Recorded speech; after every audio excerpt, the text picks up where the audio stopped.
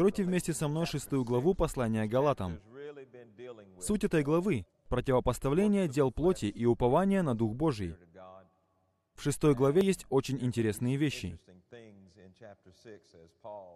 Апостол дал личное благословение на это письмо. И я хочу начать с 25 и 26 стихов 5 главы послания Галатам,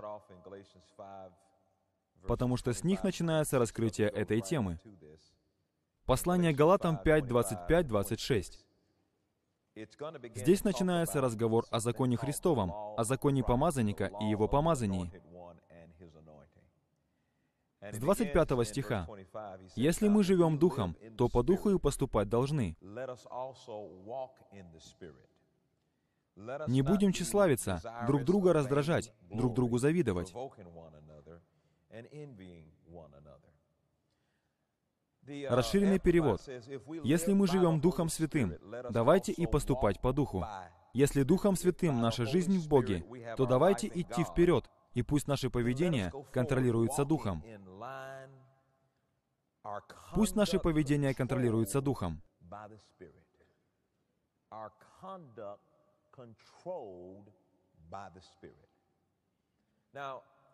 В этих двух стихах вы ясно видите различия между жизнью под водительством Духа Божьего, когда даже наше поведение контролируется Духом Божьим,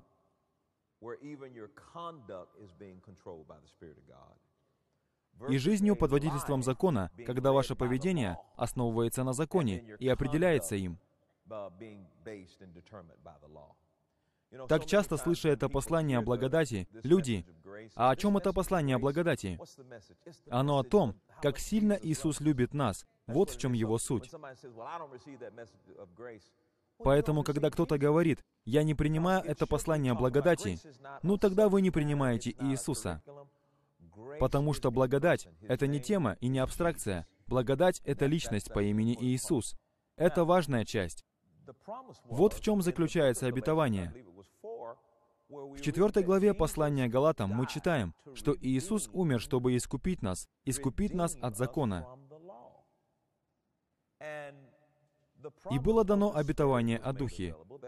Нам дано освобождение, избавление от закона. Буквально это соответствует тому, как кто-то выплачивает выкуп, чтобы нам освободиться от закона.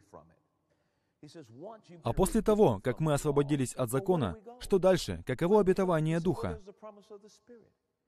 В последнее время я снова и снова говорю на тему о том, что люди борются за то, чтобы остаться под законом. И Павел много говорит об этом в послании Галатам. Он задает вопросы. Кто прельстил вас? Почему вы отпали от благодати? То есть снова впали в собственные усилия, снова впали в исполнение требований закона. Почему вы снова впали в это после того, как были избавлены великой благодатью? Часто люди так стараются найти какие-то требования. Они хотят исполнять закон. Почему? Потому что плоть любит закон. Он дает ей возможность что-то делать и возможность чем-то хвалиться. И люди очень расстраиваются, когда говоришь им, «Мы были избавлены от закона», что включает в себя десять заповедей. Библия во втором послании к Коринфянам называет это служение смертоносным буквам, служением осуждения. Люди реагируют, а? И не знают, что с этим делать. Серьезно, когда я впервые понял эту истину, я сказал, это будет трудно для людей. Пока что публично я этого говорить не могу. Как я могу так сказать о десяти заповедях, которые висят у людей на входе в дом? Я подумал, что надо найти подход, и сказал, «Господь, что мне с этим делать?» Услышав проповедь, единственное, что люди понимают, мы спасены благодатью, но продолжаем жить под законом. Однако христианство никогда не предназначалось быть религией. Общая черта всех религий в том, что у них есть требования, которые необходимо исполнять. А христианство предназначалось быть личными отношениями с Иисусом. Так? Личные отношения с Иисусом означают оставление закона и упование на Него. Конечно, закон все еще является руководителем людей, нерожденных свыше. Но для нас, как сказано в послании к римлянам 10.4, конец закона — Христос, к праведности всякого верующего. Мы праведны не на основании дел. Мы праведны не на основании закона. Мы праведны на основании того, что сделал Иисус, и наша праведность по вере. Аминь. Я вижу, что наша церковь стала немного более свободной. Я снова и снова проповедую и говорю на эту тему. Люди начинают понимать, и теперь пришел момент сказать, для чего Бог освободил нас от закона. Хотя закон совершенен, Он не может сделать нас совершенными. Хотя закон свят, Он не может сделать нас святыми. В восьмом стихе послания к евреям Библия говорит, что этот Новый Завет лучше, чем Ветхий. И я стал думать, а что может быть лучше? Вот Моисей, гора Синай, еда с неба.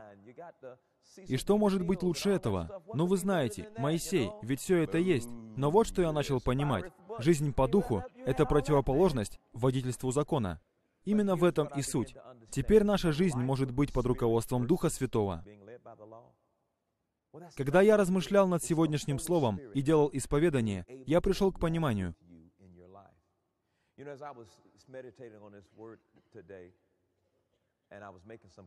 You Бог во мне. Бог одно со мной. Бог за меня. И вдруг я осознал реальность. Бог не где-то там, в космосе. Он во мне. Задумайтесь об этом, потому что в день, когда вы в это поверите, многие проблемы исчезнут. Сказать легко, но надо принять действенное откровение. Бог во мне, и поэтому не надо больше никаких криков и воплей, чтобы Он услышал меня. Я могу шептать, и Он услышит, ведь Он во мне. На самом деле, когда я думаю, Он слышит, потому что Он во мне. Бог во мне. Скажите, Бог во мне. Я одно с Ним. Бог за меня. И Бог хочет вести вас, в нас Его жизнь. Кто-то говорит, «Я отдал свою жизнь Господу». Да у вас не было жизни. Когда вы родились свыше, Господь дал вам свою жизнь. И Его жизнь пропитывает вас от макушки до пят. Каждая ваша клеточка находится под влиянием жизни Божьей, пребывающей в вас. И я понял такой факт. Раз Бог со мной и во мне, за меня, то кто может что-то мне сделать? Кто может быть против вас, если Бог за вас? А для чего Бог во мне? Чтобы вести меня. Теперь Он идет по жизни лично со мной. Помните старый баптистский гимн? «Ходи со мной, Господь». Он ходит с нами. Он ходит с нами. Для чего? Чтобы вести нас и приводить во что? Во всякую истину. И у нас есть привилегия. Дух Святой живет в нас, ведет нас, и Он, Бог в нас.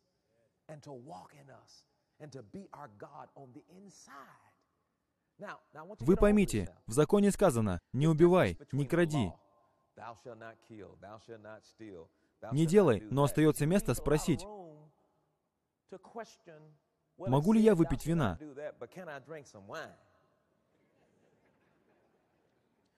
Сказано, не прелюбодействуй, но что насчет небольшого романа? Я сегодня стараюсь подбирать выражения. Таким образом, возникают все эти вопросы. Но теперь, когда Дух Святой занял в вашей жизни место закона, у вас есть тот, кого вы можете спросить. У вас есть тот, с кем вы можете говорить, и он будет говорить с вами о мельчайших деталях вашей жизни. Кто-то спросит, вы хотите сказать, что можно слышать Духа Святого? Я сделаю серию проповедей о том, как пребывать под водительством Духа Святого. Да, Дух Святой будет вести, будет направлять вас. Он станет показывать, что вам следует делать, и Он знает, как донести до вас информацию. Но вы задумайтесь, как я говорил раньше, и вот почему я использую эту иллюстрацию, потому что так было со мной. Вы приходите в магазин, открываете упаковку, что-то вытаскиваете из нее, и потом говорите, «Нет, мне это не нужно». А Дух Божий говорит, «Кому-то придется заплатить за то, что ты делаешь». Поэтому, почему бы тебе не взять эту упаковку, которую ты открыл? А вы думаете, я не хочу ту, которую открыл, я хочу ту, что я еще не открыл. Когда вы узнаете Духа Святого, вы поймете. Он вам не будет доказывать. Мой опыт. Он скажет вам только один раз. Он не будет с вами дискутировать, снова и снова повторять. Дух Святой говорит вам, «Я хочу, чтобы ты сделал это». Что, Господи? Еще раз. Не, вы и в первый раз услышали. У Духа Божьего есть такое качество. Его трудно не понять, если вы ходите и говорите с Ним. Итак, мы говорим о жизни под водительством Святого Духа. Он будет говорить вам о ваших повседневных делах. Вот что я больше всего слышал, когда серьезно занялся этим в первой половине прошлого года. Я просто не могу верить в то, что раз я спасен, и Бог простил мне все грехи, то теперь я могу делать все, что мне вздумается. Да ведь никто такого и не говорил. Одна из моих проповедей называлась «Кто сказал, что грешить — это нормально?» Никто такого не говорил. Вот чего не поняли эти люди. После того, как вы освободились от закона, теперь за ваше поведение отвечает Дух Божий. Потому что это лучше того, что вы делали под законом. Потому что Он теперь будет разбираться с корнями проблем вашей жизни. Он будет работать с вами индивидуально, персонально. Он будет работать с вами индивидуально, персонально, работать с ситуациями, о которых вы знаете. Слава Богу! И это такое чудесное качество Бога. Он может работать с вами индивидуально в вашем нынешнем состоянии. Слава Богу! Аллилуйя! В этом такая свобода. На тему исцеления. Каждый раз, когда Иисус говорил об исцелении, Он говорил об избавлении от грехов. Когда к Иисусу пришел человек за исцелением, Он сказал ему, «Грехи твои прощены». Таким образом, существует связь. Если вы не можете принять то, что сделала кровь Иисуса, чтобы очистить вас от всех ваших грехов, то вы, вероятно, не сможете принять и все остальное, что кровь Иисуса сделала для вас доступным. Мы разберем последнюю часть письма апостола. Эту часть он начинает словами о жизни в духе, о водительстве духом. Обратите внимание на эту важную часть, которую он говорит. Если мы живем Духом, то по Духу и поступать должны. Если мы живем Духом Святым, давайте и ходить в Духе. Если Духом Святым мы живем свою жизнь в Боге, давайте жить так, чтобы наше поведение контролировалось Духом. Он говорит, что мы, христиане, теперь не находящиеся под законом, должны полностью подчинить свою жизнь контролю Святого Духа. Для этого необходимы практические знания. И теперь молитва на языках не просто молитва, но также способ, с помощью которого мы будем становиться более чувствительным к духовному. Чем больше я молюсь на языках, тем чувствительнее я становлюсь к духовному, к Богу. Не так, что я молюсь на языках ради того, чтобы Бог сделал для меня что-то хорошее. Нет, теперь я испытываю жажду по Богу. Я теперь готов быть водимым Духом. Я готов сотрудничать с Богом в том, что необходимо делать мне. Я не говорю, что это собственные усилия. Обратите внимание на то, что характер усилий зависит от того, на кого я полагаюсь. Я полагаюсь на Бога. Я молюсь в Духе для того, чтобы настроить свой слух. Я провожу значительное время в молитве на языках и слушаю Духа Святого. Иногда вы будете промахиваться, но бывает так, что для того, чтобы добиться, надо промахнуться.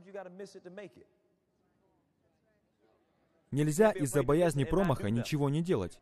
Сделав шаг, надо сделать то, что требуется. И теперь мы говорим о том, а что значит быть под водительством Духа? Как узнать? О, это хорошо, Господь. Это богатство. О, я извиняюсь. Дух Святой в вас дает вам способность жить на земле.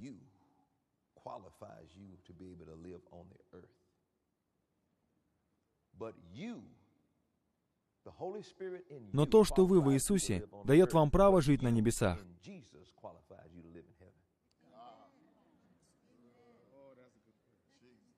Вам надо об этом немного поразмыслить.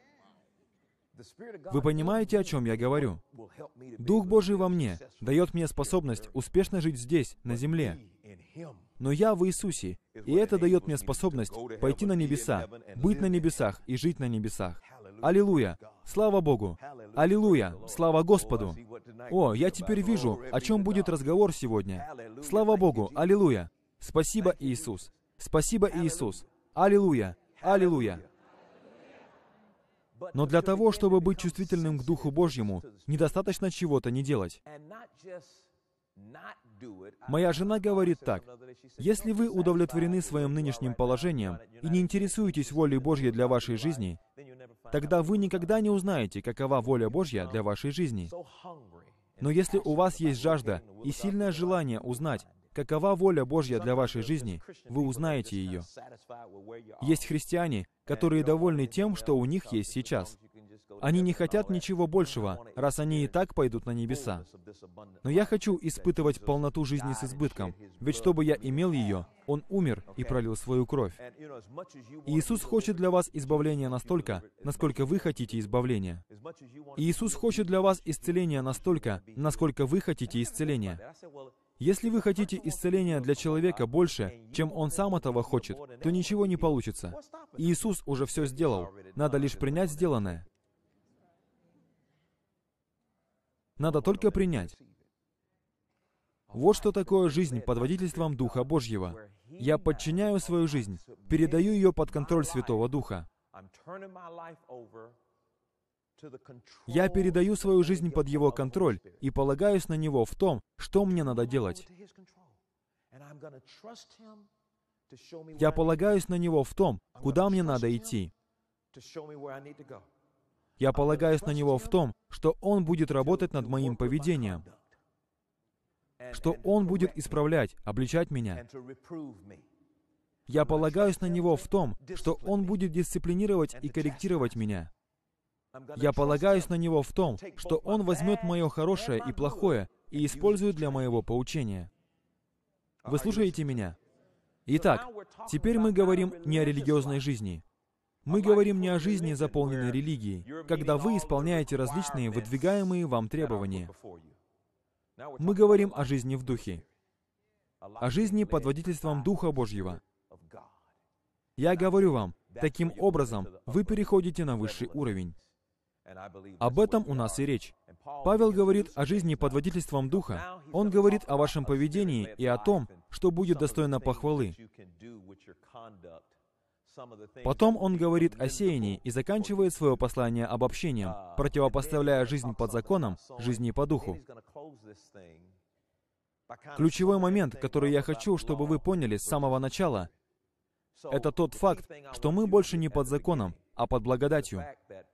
А что это значит? Мы под благодатью. Бог дал нам благоволение. У нас есть незаслуженное благоволение. И в жизни по благодати мы под водительством Духа. Под законом мы под водительством закона.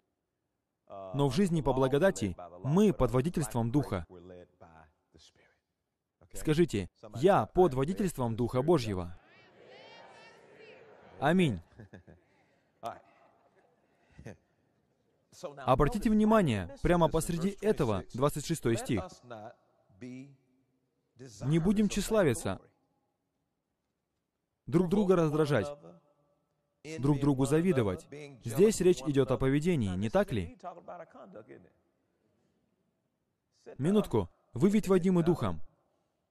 Очевидно, если ваше поведение не соответствует вашим словам о том, что вы под водительством Духа, то тут противоречие. Вам понятно, о чем я говорю? Вы не можете говорить, что вы под водительством Духа, если у вас безрассудное поведение. Потому что когда вы под водительством Духа, ваше поведение будет не хуже, чем когда вы были под водительством закона. Ваше поведение под водительством Духа будет намного лучше, чем тогда, когда вы были под законом. Апостол говорит о том, как нам вести себя по отношению друг к другу. Не будем тщеславиться, друг друга раздражать, друг другу завидовать. Мы переходим в шестую главу, и апостол продолжает говорить о том же. «Братья, если и впадет человек в какое согрешение, вы, духовные, исправляйте такого в духе кротости, наблюдая каждый за собою, чтобы не быть искушенным». Расширенный перевод.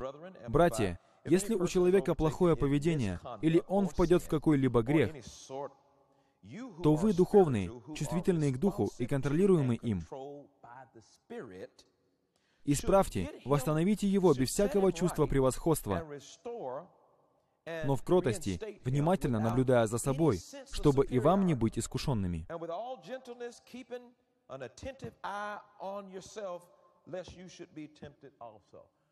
Обратите внимание, кому обращается апостол. Он обращается к тем, кто водим Духом. Послушайте, что он говорит тем, кто водим Духом. Он говорит, если вы, те, кто водим Духом, те, кто под контролем Духа, увидите, что брат в заблуждении или в грехе, или что у брата неправильное поведение, вы, водимые Духом, обратите внимание, разберитесь с этим, но сделайте это без чувства превосходства. Не пытайтесь выглядеть так, будто вы лучше того человека. Понимаете, что он говорит? Я Вадим Духом, но также апостол говорит, я хочу, чтобы ваше поведение было похвальным. Вы духовные, контролируемые Духом. Когда видите кого-то в заблуждении, когда видите кого-то в грехе, когда видите, что у кого-то неправильное поведение, он не сказал, закройте на это глаза, не обращайте внимания и продолжайте заниматься своими делами. Он говорит, вы, водимые духом, прислушивайтесь к нему, чтобы он показал вам, что делать в ситуации, с которой вы столкнулись. Да, есть то, на что Дух Божий говорит обратить внимание. Есть то, о чем Он говорит, что это не ваше дело. Но вы, под водительством Духа, вы водимы Духом. Если вы видите брата, впавшего в заблуждение, то первый ваш вопрос, что я могу сделать, чтобы помочь ему восстановиться? У нас было такое отношение, и я знаю, что это так. Религиозные люди говорят, я рожден свыше, а он нет. Я часть церкви, а он часть мира. Сказано, не касайтесь нечистого, так я и сделаю. Но это неправильно. Это неправильно. Наоборот, это возможность для Иисуса прикоснуться к чьей-то жизни.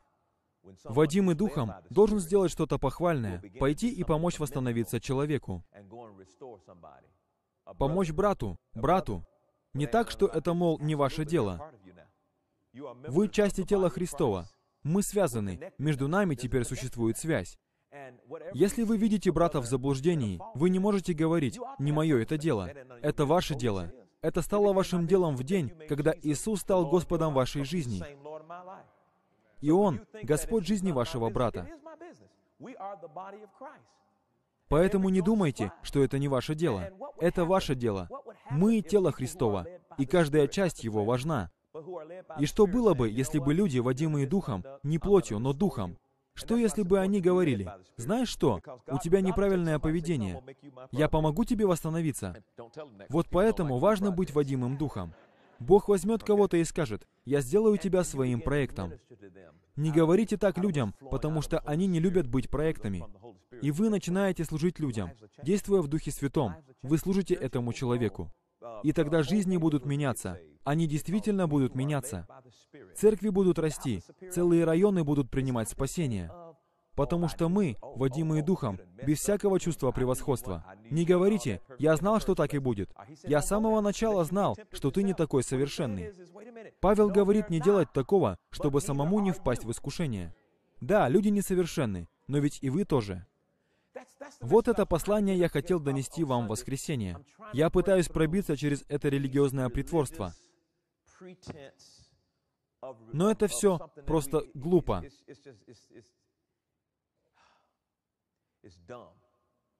Просто глупо. Нам необходимо пробиться через всю эту религиозность, которую мы создали и из-за которой судим других людей. А судим мы их, потому что они не вписываются в нашу фальшивую модель, которую мы создали для христиан. Мы подвергаем людей игу рабства. Слава Богу за Его благодать, а иначе я бы сошел с ума. Я старался молиться по 90 часов в сутки. Я старался не пропускать ни одного служения. Я старался проповедовать по сто раз в неделю. Я старался быть безупречным, говорить со всеми с улыбкой. «Здравствуйте, как поживаете?» Но у меня не получалось. Теперь Бог не благословит меня, потому что я не выполнил требования. Я недостаточно молюсь. Я помолился только 30 минут. Я смотрел на часы и говорил, надо помолиться еще минуту, а иначе Бог накажет меня за то, что я не помолился целый час. Это рабство, это не свобода. Но где Дух Господень, там свобода. Вы подумайте о том количестве людей, которых мы отпугнули от церкви, потому что, приходя в церковь, они видят там судящие глаза.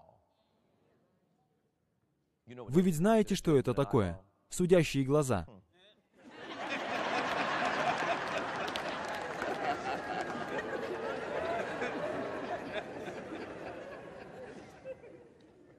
Вы слушаете, что я говорю? Но что было бы, если бы вместо того, чтобы судить людей, вы представьте себе, Представьте себе пьющего, матерящегося брата жены.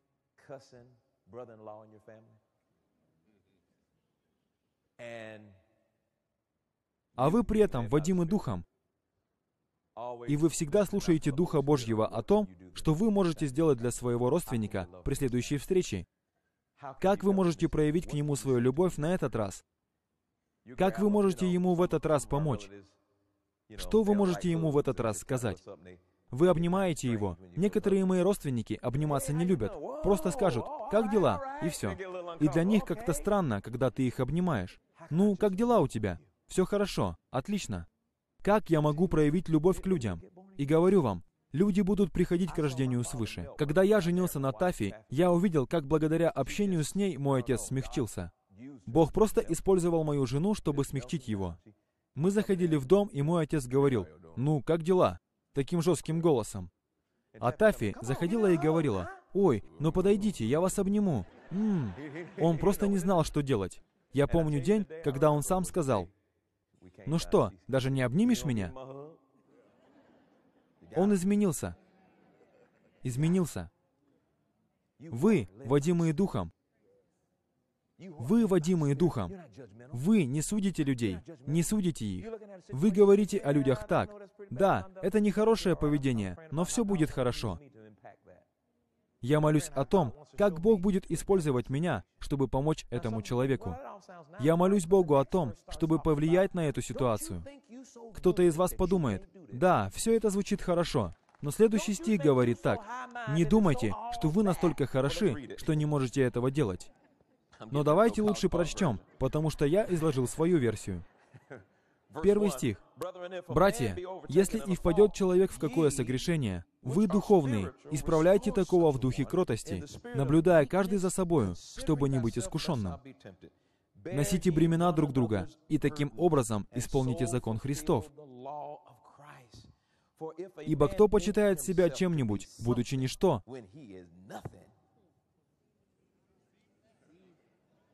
Обратите внимание на контекст, в котором говорит апостол. Он говорит об этом в контексте ношения проблем друг друга. Он говорит в контексте помощью человеку восстановиться. Иисус пришел не судить мир, а спасти мир. Нам необходимо пробиться через всю эту религиозность, которую мы создали, и из-за которой судим других людей. А судим мы их, потому что они не вписываются в нашу фальшивую модель, которую мы создали для христиан. Мы подвергаем людей игу рабства. Слава Богу за Его благодать, а иначе я бы сошел с ума. Я старался молиться по 90 часов в сутки. Я старался не пропускать ни одного служения. Я старался проповедовать по 100 раз в неделю. Я старался быть безупречным, говорить со всеми с улыбкой. «Здравствуйте, как поживаете?» Но у меня не получалось. Теперь Бог не благословит меня, потому что я не выполнил требования. Я недостаточно молюсь. Я помолился только 30 минут. Я смотрел на часы и говорил, надо помолиться еще минуту, а иначе Бог накажет меня за то, что я не помолился целый час. Это рабство. Это не свобода. Но где Дух Господень, там свобода. Вы подумайте о том количестве людей, которых мы отпугнули от церкви, потому что, приходя в церковь, они видят там судящие глаза. Вы ведь знаете, что это такое, судящие глаза.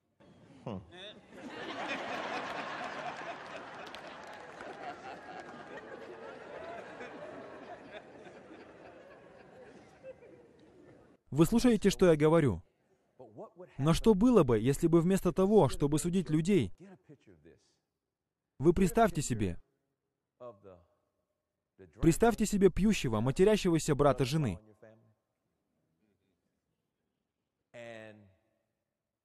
А вы при этом водимы Духом. И вы всегда слушаете Духа Божьего о том, что вы можете сделать для своего родственника при следующей встрече. Как вы можете проявить к нему свою любовь на этот раз? Вы обнимаете его. Некоторые мои родственники обниматься не любят. Просто скажут, как дела? И все. И для них как-то странно, когда ты их обнимаешь. Ну, как дела у тебя? Все хорошо. Отлично. Как я могу проявить любовь к людям? И говорю вам, люди будут приходить к рождению свыше. Когда я женился на Тафи, я увидел, как благодаря общению с ней мой отец смягчился. Бог просто использовал мою жену, чтобы смягчить его. Мы заходили в дом, и мой отец говорил, «Ну, как дела?» таким жестким голосом.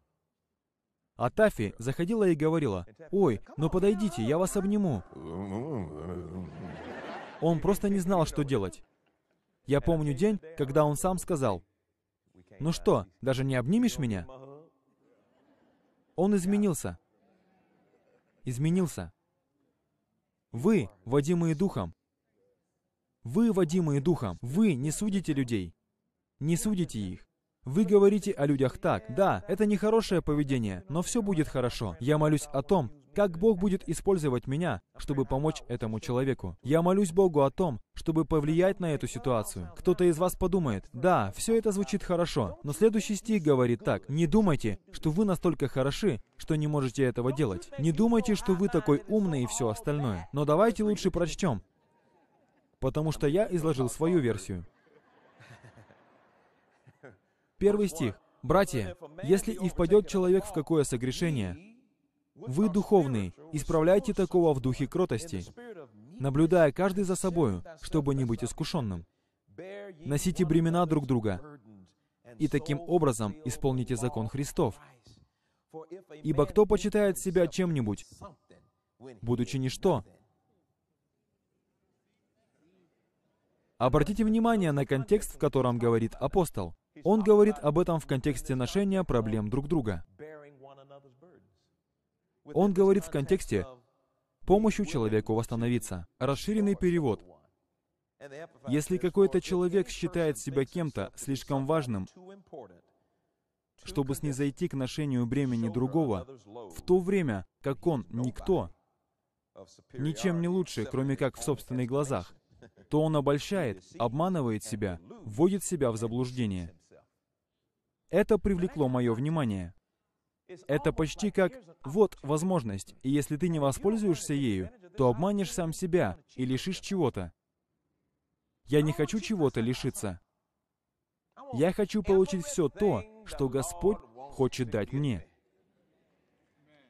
Если я стану более чувствительным к ношению бремени других, то это поможет мне нести мое бремя. Найдите того, кто проходит через то же, что и вы. Уделите ему внимание и помолитесь за него. И ваша молитва будет отвечена очень быстро. Такова сила ходатайства. Познав благодать, мы должны стать благодатными милостивыми людьми. Бог дал нам это знание не для того, чтобы мы превозносились, говоря, «Я знаю больше, чем ты». Знаешь много, но живешь несоответственно своему знанию. Результатов не видно. А мы хотим видеть проявление любви к другим людям. Писание говорит, что если вы думаете, что слишком хороши для этого, то вы в самообольщении. Вы обманываете сами себя. Обманываете себя.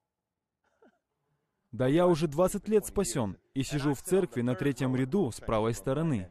Пусть это делает кто-то другой, а я сижу на третьем ряду. Но это никак не направлено против сидящих на третьем ряду. Вот вы сидите на третьем ряду всю свою жизнь. Это не против людей на третьем ряду, но вы понимаете, о чем я говорю. Есть такие христиане, которые так считают. Пусть это делают другие, а я уже перешел на другой уровень служения. Вы говорили так? Вы на самом деле так говорили? Вот о чем говорит апостол, и вот куда он идет дальше. Каждый да испытывает свое дело. Он говорит, ты должен исследовать, проверять свое собственное поведение. Ваше поведение подвергнется проверке. И не только ваше поведение подвергнется проверке, но также вы увидите, действительно ли ваше поведение подчинено Духу Святому. Вы увидите, как вы ведете себя рядом с человеком, нуждающимся в помощи. Как вы ведете себя рядом с человеком, который поступает неправильно? Вы должны проверить свое поведение. И тогда будет иметь похвалу только в себе, а не в другом. Расширенный перевод. Но пусть каждый человек внимательно исследует, изучает и проверяет свое собственное поведение, свое собственное дело. У него тогда будет собственное удовлетворение и радость от того, что он сделал что-то похвальное сам по себе. При этом Он не будет прибегать к хвастливому сравнению с ближним. Апостол говорит, что тут должны быть правильные мотивы. Я должен следить за тем, чтобы у меня был правильный мотив, когда я помогаю кому-то восстановиться.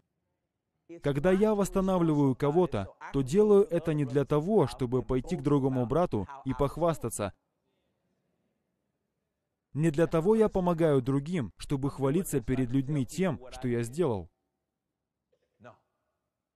Поступая таким образом, то есть хвалясь, я обманываюсь и лишаю себя того, что Бог хочет дать мне, и возвращаюсь к делам плоти.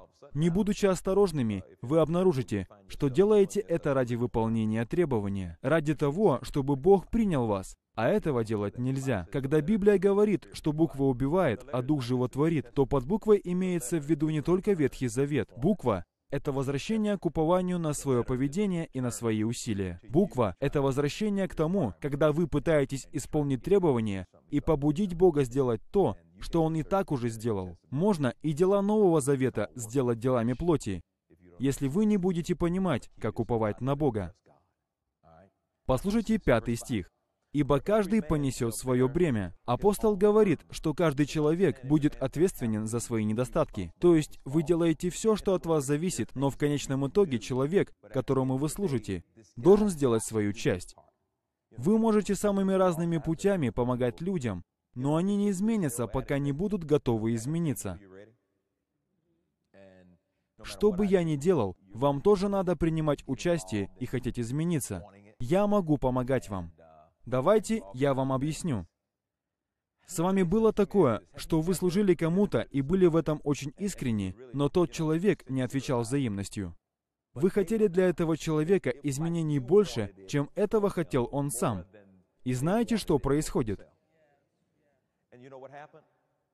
После того, как вы перестанете делать, Дух Святой будет вести вас. Он скажет вам, все, больше не надо. Так было и со мной. Он говорил мне, больше не надо. А были и другие случаи, когда он говорил, это не твое дело. Держись подальше от этого человека. Вот поэтому ваша жизнь и должна быть под водительством Святого Духа. Как только вы заканчиваете служить человеку и отходите в сторону, вы видите, что он возвращается в то же самое место, где вы его нашли. Вы потратили столько времени, столько денег, вы столько молились, потратили столько ресурсов. А как только перестали делать это, человек вернулся в ту же позицию. А это значит, что со своей стороны он не был посвящен своему изменению. Разбирая Писание, мы делаем это в контексте. Кое-чем я был шокирован. Мы все рассматриваем в контексте. Вы помните, как я говорил вам, что если вы будете читать текст вне контекста, то впадете в заблуждение. А мы этого не хотим. Поэтому будем рассматривать все в контексте, и вы оставайтесь со мной.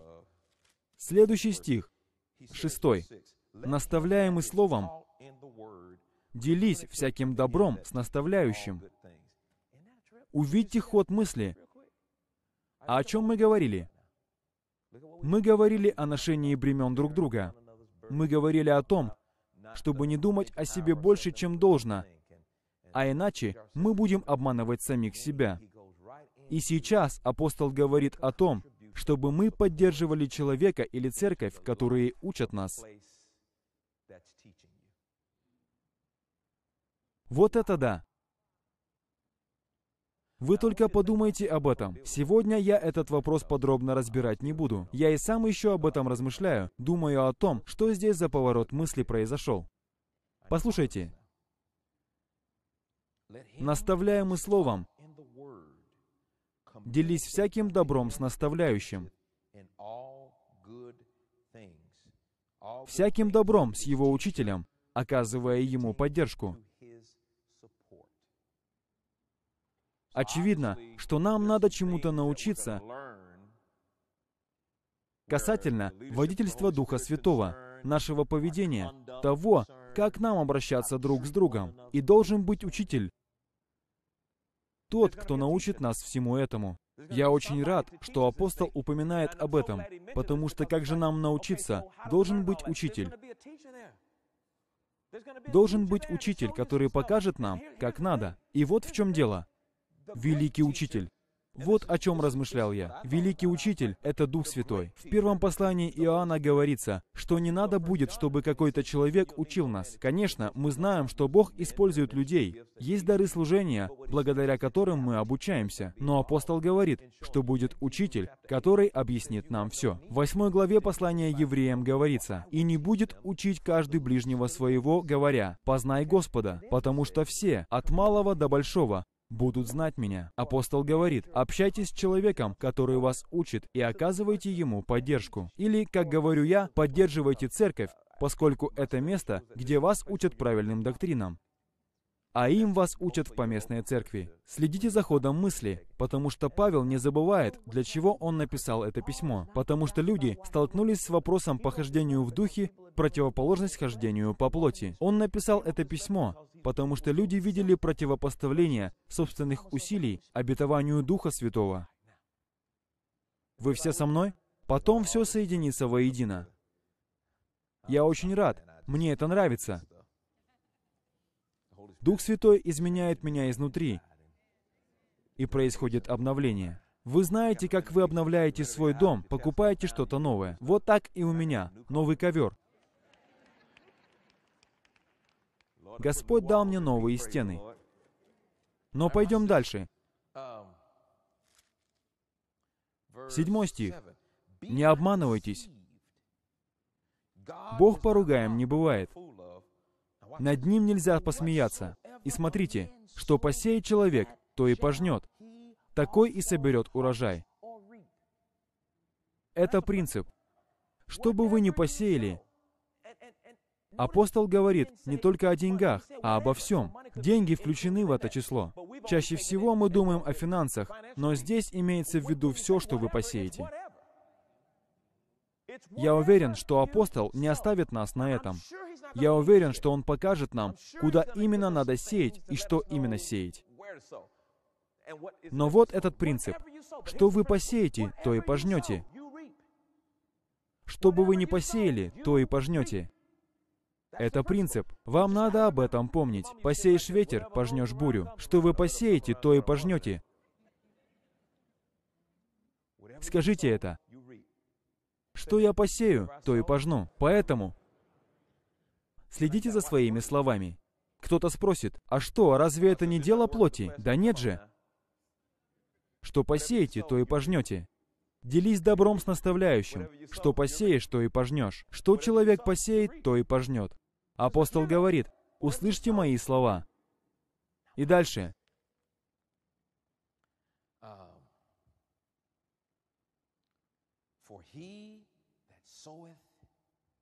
Сеющий в плоть свою, от плоти пожнет тление, а сеющий в дух, от духа пожнет жизнь вечную. Делая добро, да не унываем, ибо в свое время пожнем, если не ослабеем. Итак, доколе есть время, будем делать добро всем, а наипаче своим по вере. Дамы и господа, плоть, если вы будете сеять в плоть, то вы и пожнете от нее. Первое, о чем я подумал, Разные люди по-разному толковали это место Писания, поэтому пусть Библия разъясняет сама себя. Я хочу найти библейское определение того, что такое плоть. И перейдем к четвертой главе послания к римлянам.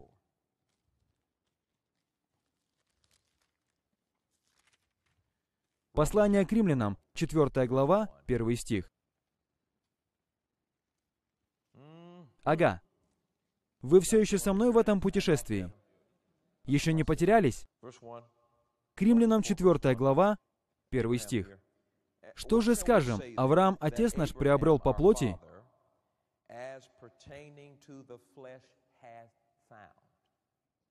Второй стих. Если Авраам оправдался делами, как хорошо сказано. Говоря о плоти, апостол говорит, если Авраам оправдался делами, Вы видите это? Если Авраам был объявлен праведным согласно делам. Прочтем в расширенном переводе. Здесь изложено яснее. Но если это так, что мы скажем об Аврааме, отце нашем, говоря с человеческой точки зрения?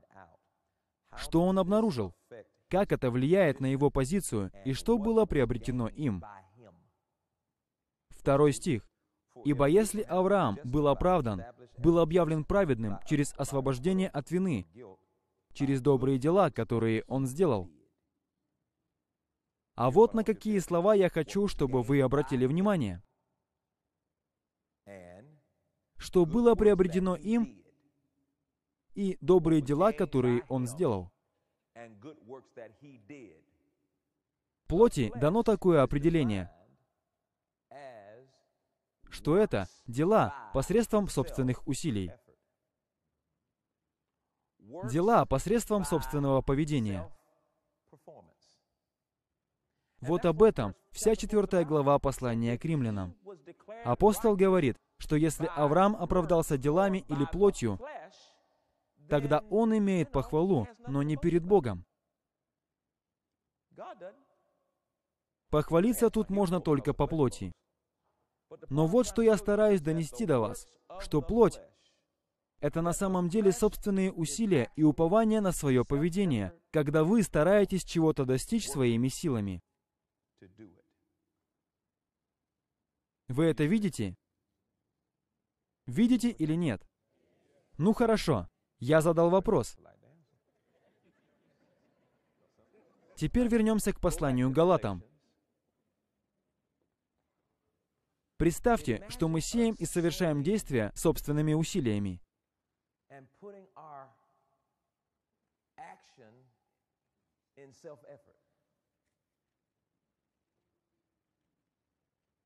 В результате мы пожнем что-то испорченное. Так же произошло и с Авраамом.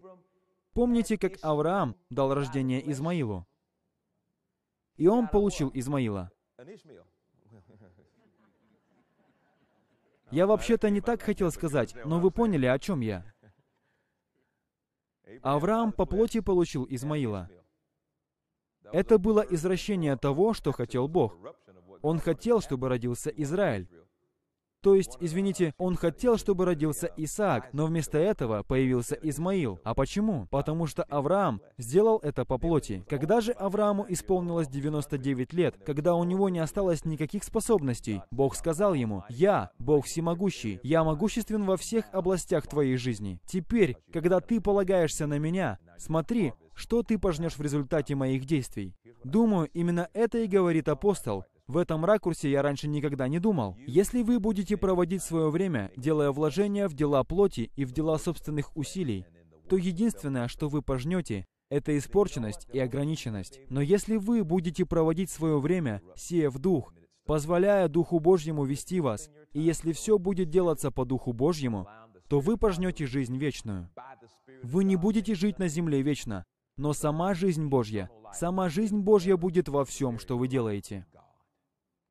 Некоторые из вас, возможно, в разочаровании скажут, «А я-то думал, что апостол говорит о деньгах». Я уверен, что здесь есть место и учению о финансах. Однако, главная мысль этого послания, и в каждой главе она присутствует, это противопоставление собственных усилий упованию на Дух Божий. Продолжая, апостол говорит, «Не ослабевайте, вот что может искушать вас, когда вы верите, что нечто произойдет, но не видите, когда оно произойдет. Апостол говорит, «Не ослабевайте в делании добра. Вы хорошо делаете, веря Богу и уповая на Него. Делая добро, да не унываем, ибо в свое время пожнем, если не ослабеем». Слово «ослабеть» означает сдаться, прекратить, отказаться. Если вы не сдадитесь, не прекратите, не откажетесь, то вы пожнете. Когда вы имеете дело с Богом, требуется терпение и вера. И Бог ищет себе таких людей, которые будут доверять Ему во всем. И не позволят нетерпению остановить их упование.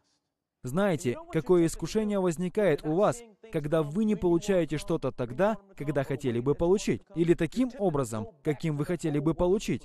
у вас возникает искушение вернуться к ветхим делам плоти, вернуться к хорошо знакомому, к тому, что вам понятно. И вот снова появляются собственные усилия и упование на свое поведение. И таким образом вы хотите добиться результатов, но Бог говорит, «Я не хочу, чтобы ты сдавался, уступал, останавливался». Вы помните, как Давид, обращаясь к своей душе, говорил, Душа, благослови Господа. Вот что я вам скажу о вашей душе. Ваша душа никогда сама по себе не будет соглашаться со Словом Божьим. Вы должны приказывать своей душе соглашаться со Словом Божьим. Говорите ей, ты согласишься со Словом Божьим. Я говорю не о том времени, когда вы такой духовный и находитесь в церкви. Я говорю о трудных ситуациях вашей жизни, когда вы очень нуждаетесь в Боге. Вот тогда вы и говорите, душа, благослови Господа. Ты благословишь Господа. Сама по себе душа не хочет благословлять Господа. Она хочет говорить против Него. Говори слова сомнения и неверия. Но вы говорите ей, нет, так ты говорить не будешь. Все, что ты будешь говорить, это «Я исцелен». Душа, избавься от сомнения. Вам надо разговаривать с самим собой. Я так делаю. Я хожу по комнате и говорю с собой. Задаю себе вопросы. Верю ли я в это? Да, Господь, я верю. Я приму исцеление. Господь спрашивает меня, дал ли я тебе дух страха? Я отвечаю, нет, ты не давал мне его. Откуда же он пришел? Он пришел не от тебя, Господь. Так и сказано в Библии. Назидайте себя псалмами и гимнами и духовными песнями. Иногда вам необходимо это делать. Обетование от Бога всегда приходит в свое время. Имея дело с Богом, вы должны понимать, есть свое время, есть назначенное время для всего. У вас должна быть уверенность в том, что это время наступит. Я не знаю, каково намерение Бога в этой ситуации. Возможно, он использует или допускает эту ситуацию для того, чтобы вывести меня на новый уровень зрелости. Вы не знаете, каково намерение Божье. Загляните в Ветхий Завет. Посмотрите, что он делает. Он дожидается момента, когда юноши бросят в огонь, и тогда появляется. И было это все не так, как мы себе представляем что эти юноши вошли в огонь с песнопениями, и во время пения иногда говорили «Ой, да, немного больно». Нет, когда их бросали в огонь, они, наверное, боялись «А, ой, ой, не болит». И потом они сказали «Бог с нами». Бог с нами. Послушайте, я хочу, чтобы это стало частью вашего лексикона. Каждый день, просыпаясь, напоминайте своей душе, напоминайте себе, напоминайте своим обстоятельствам о том, что Эммануил с нами. Так и переводится это имя Эммануил, Бог с нами. И знаете что? Когда Бог с вами, вы можете быть успешны, как Иосиф. Господь был с Иосифом, и он был преуспевающим человеком. Вас делает успешными то, что с вами Бог. В день, когда вы родились свыше, Бог с горы Синай перешел в вас. И Бог Бог с вами. И когда вам вообще ничего не понятно, напоминайте себе, Бог со мной.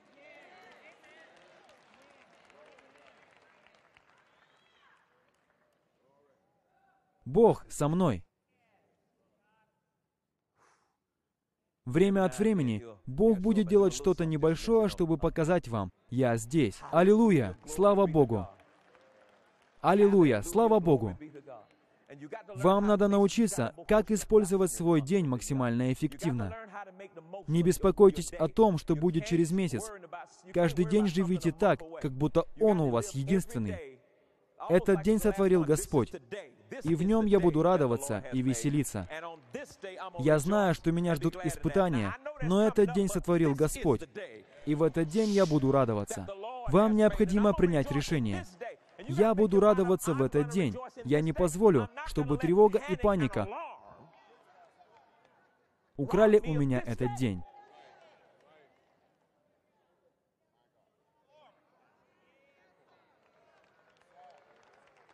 Воскликните, «Как ты велик!»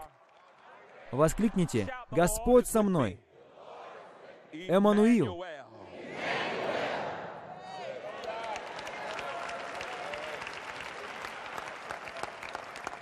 Вы не знаете, что принесет еще один день. Еще один день, и вы получите исцеление. И вам необходимо понимать, как действует Бог. Он не делает так. Вуаля! Сим-сим. Ой, не знаю, откуда это взялось. Бог уже действует. Он знал о том, что вам нужно исцеление еще до того, как вы попросили. Но вот что я хочу, чтобы вы знали. Бог уже совершил его. Надеюсь, что мое исповедание поможет вам. Я говорю, Господь, я благодарю Тебя за то, что Ты завершил во мне.